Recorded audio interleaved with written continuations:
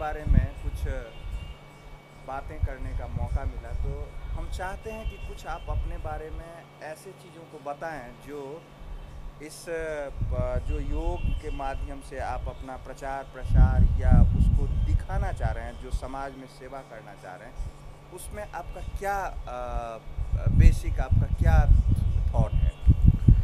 देखिए सबसे basic thought की जहाँ तक योग से संदर्भित है योग में, मैं चाहता हूँ कि जिस प्रकार से आयुर्वेद या एलोपैथी या इंग्लिश दवा जो भी प्रकरण है, उनमें जो व्यक्ति जूझ रहे हैं, अधिक से अधिक आपका परिवार का जो बजट है 50 परसेंट से ऊपर कहीं ना कहीं दवा में जाता है। तो मेरा योग से एक ही है कि व्यायाम, एक्सरसाइज और योग जो कहिए योग के माध्यम से मैं इस प्रकार से जोड़ना चाहता हूँ कि कम से कम परिवार का पैसा खर्च हो स्वास्थ्य के ऊपर और वो केवल सबल ही नहीं आत्मनिर्भर बने योग के माध्यम से। बहुत सुंदर। जैसा आपका विचार है तो मुझे लग रहा है कि योग के माध्यम से अगर हम लोग समाज सेवा के नाम पे अगर कुछ ऐसा करने की कोशिश करें तो आपका पूरा पूरा योगदान अ, हम लोगों को मिलना चाहिए। अ, क्या आप सोच रहे हैं कि किस तरह से हम लोगों को आप इस योग की प्रक्रिया में आगे बढ़ाने में आप अपना योगदान देंगे? देखिए जहाँ तक योग से संदर्भित मैं मिथिलांचल के लिए बहुत गर्व की बात है और भारत के लिए ही क्योंकि जब ये विश्व कीर्तिमान बना शीर्षासन का जैसे आप जानते हैं तो बिल्कुल, अ, बिल्कुल। तो हम अभी आएँगे उस पे कि तो, जी। वो हमारा एक अलग चीज़ होगा कि जी, बिल्कुल। आपको हम चाहेंगे कि अ, उस सम्मान के लिए हार्दिक बधाई दूँ पूरे मिथिलांचल के तरफ़ से आपको हार्दिक बधाई दें ठीक है कि ये बहुत एक मिथिलांचल के धरती के लिए एक बहुत बड़ा ये अवसर है जी कहिए जी तो योग से मैं यही चाहता हूँ कि आप मुझे जो कहें मैं चाहता हूँ वही बात जो मैं बोला हूँ कि गरीब से गरीब व्यक्ति को कैसे मैं निरोग कर सकूँ तो एक माध्यम है वो कोई है तो हम्म। जिसमें पैसा बिल्कुल नहीं लगता है और व्यक्ति को स्वस्थ समृद्ध सात्विक और मैं हर एक परिप्रेक्ष्य में उसको समाज में एक मज़बूत प्रतिष्ठा के रूप में खड़ा कर सकता हूँ वो योग है जो व्यक्ति को सबल बनाता है कुछ, जैसा कि मेरा धारणा है योग के बारे में, कि आदमी योग को हमारे समाज में अभी भी वो प्रतिष्ठा नहीं दे पा रहे हैं, ठीक है? क्योंकि उसको एक कड़ी के रूप में अपने स्वास्थ्य को लेके या कि हमको कैसे दैनिक जो हमारा क्रियाकलाप है, उसमें उस चीज़ को वो नहीं समावेश कर पा रहे हैं। इसमें आप कैसे उन चीज़ों को गरीब से गरीब अभी भी लोग समझ रहे हैं क्या कि योग अमीर के लिए है ठीक है? गरीब के लिए एक्सरसाइज हो गया उस एक्सरसाइज को योग में परिणत करना इसमें आप कैसे इस चीज़ को एक दूसरे को अ, बिल्कुल बिल्कुल सही बात है। बहुत ऐसे व्यक्ति हैं जो समाज में योग के प्रति गलत अवधारणाएँ फैलाए हुए हैं। वो कुछ संकुचित मन बुद्धि के व्यक्ति हैं जो इस प्रकार के हैं। योग हर एक धर्मों के, सभी धर्मों के व्यक्तियों के विकास के लिए सोचता है।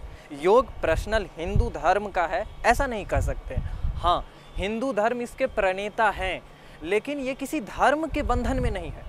और धर्म वही है जो धारण करने का है। अगर आतंकवाद बनना अच्छी बात है तो वो धारण करना चाहिए। लेकिन वो अगर बुरी बात है तो हमें नहीं धारण करना चाहिए। वो गलत है, हम जानते हैं तो आतंकवाद नहीं बनना चाहिए। ये सिंपल सी बात है। ये ना मुस्लिम कहता है कि बनो और ना हिंदू धर्म, ना सिख ईसाई।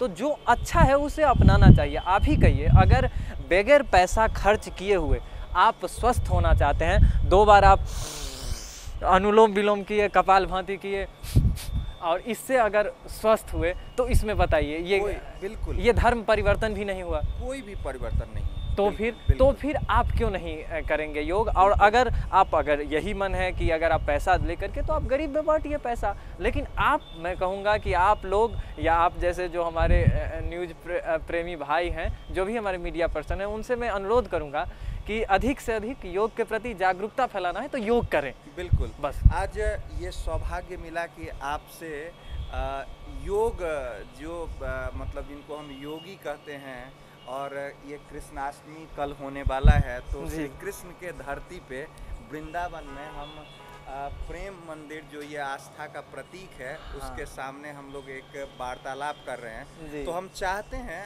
कि आपने जो योग को अपना जीवन दर्शन चुना और जो आपको आज ख्याति मिली है सुन के मैं अपने समस्त देशवासियों के तरफ़ से आपके अ, इस प्रख्याति के लिए हम आपको वो सद्भावना कहिए मैं आपको वो पुरस्कार देना चाहता हूँ पूरे भारतवर्ष नहीं पूरे विश्व के तरफ़ से क्योंकि मैं भी उस विश्व का एक छोटा सा आत्मा हूँ।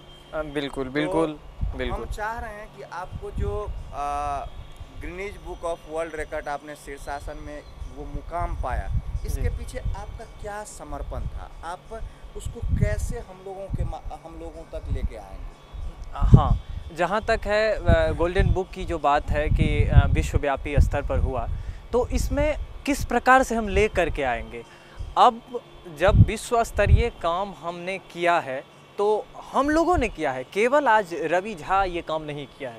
क्योंकि अगर आप लोग की प्रेरणा नहीं होता और ये सद्बुद्धि अगर माता पिता की नहीं हो पाती, एक माहौल जो मेंटेन है मिथिलांचल का या पूरे भारत का तो उसमें मुझे था कि कुछ अलग करना है।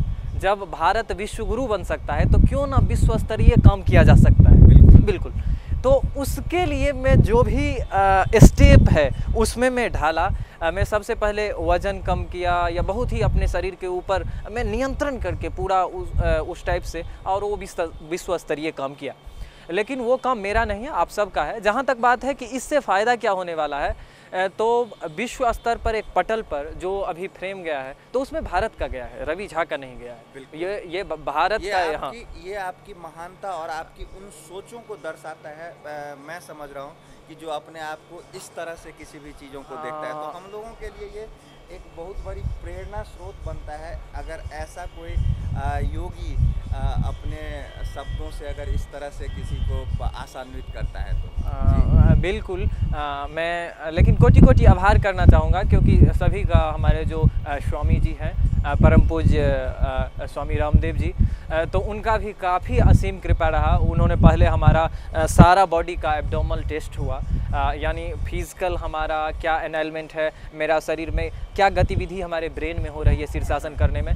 तो ये सब पूरे टीम आए थे और वो किया था दो दिन तीन दिन तक चला। उसके बाद फिर ये फाइनली हुआ कि इक्कीस जून को आप करेंगे। तो ये अलग बात है लेकिन जहाँ तक मैं समाज से मेरा एक ही है कि मैं गरीब को किस प्रकार से योग से अ, मतलब उसको क्रियान्वयन में लाऊं और उनको समृद्धि कैसे प्रदान करूँ योग से कैसे मैं ठीक कर सकूँ। यही है मेरा। मेरा मेन मोटो यही है और उसी लिए मैं जितना मैं थोड़ा बहुत आपके बारे में जानता हूँ तो जिज्ञासा रहती है कि कोई आदमी डेढ़ घंटा दो घंटा तक शीर्षासन जबकि मेडिकल साइंस कहता है क्या कि आप तीन मिनट से ज़्यादा नहीं कर सकते हैं।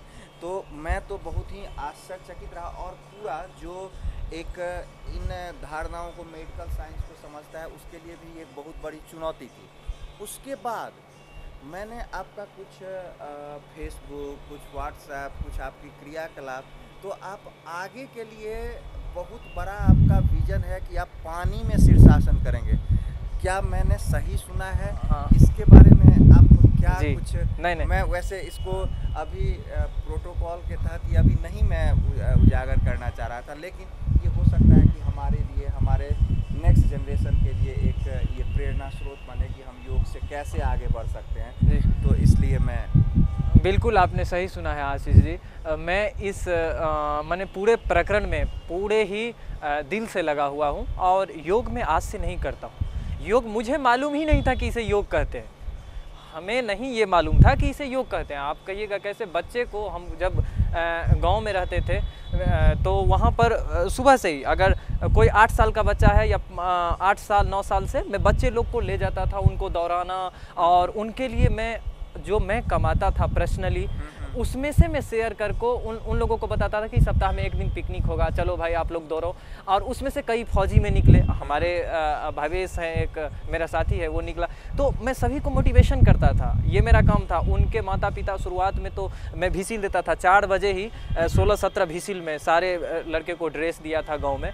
और वो चार बजे ही भिसिल लगा देते थे सभी और सभी गाँव गाँव के मोहल्ले के एक जगह इकट्ठे होकर के और फिर दौड़ने जाते थे हम लोग। एक बाँध है कोसी का तो वहाँ पर गाँव से ही।